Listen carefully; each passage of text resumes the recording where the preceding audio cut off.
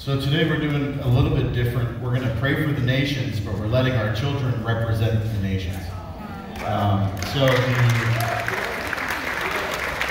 in Scripture it says that if the Jewish people become a light to the nations, that the nations will carry our children back on their shoulders. Um, so we're going to pray for the nations. If you would stand up and lift your hands, we're going to we're to let them represent the different nations here today. Um, and if you heard in the song, it was the four winds blow. So we had the, the women come in and kind of pretend to be the wind, right? And I think that sometimes we listen to all the things that are happening in the world, but Scripture has already told us that the wind will blow. I mean, you think about how many things are distracting.